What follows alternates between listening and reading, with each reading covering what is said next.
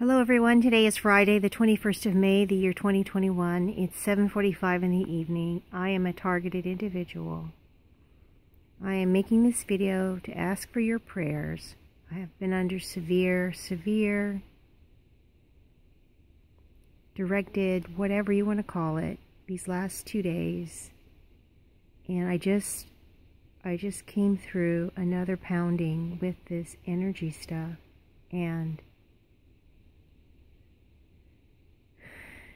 I could use your prayers. Please pray for me. I pray for all of us. The prayers of the holy ones have the express ear of God. They go right to God. So I'm appealing to, to my fellow targeted individuals and Christians and anyone who would pray to Jehovah God on my behalf for protection. And for resilience, for the fiery trials I'm going through. It, it's almost literally fiery trials. My body, the pain is indescribable.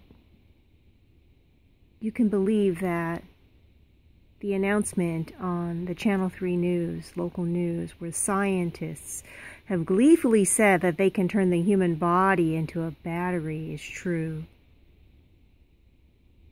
Whether you want to be a battery or not. Please, please pray for me. My name is Sarah. This is an adult audience only video.